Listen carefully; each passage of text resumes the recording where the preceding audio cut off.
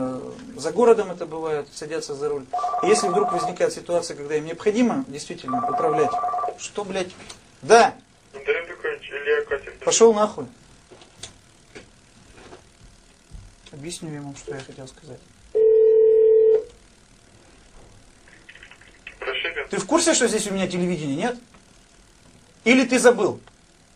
Или ты не знал? Я думал, уже. Ты думал, блядь, я тебе уже говорил, Артем, тебе думать еще рано. Ты выполняй пока. Вот думать будешь, когда, когда научишься. Я думал. Вот, вот такие женщины, конечно же, когда